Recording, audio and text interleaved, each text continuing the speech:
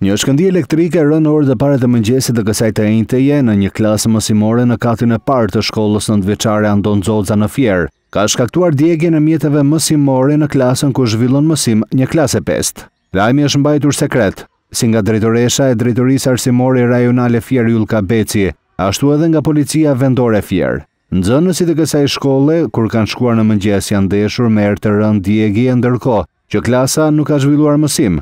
Lajmi është pohuar nga prindër nxënësish të cilët kur kanë shkuar për të marrë fëmijët nga shkolla ua kanë treguar se çfarë kishte ndodhur në shkollë. Madje, është edhe një prej nxënësve që e konfirmon këtë.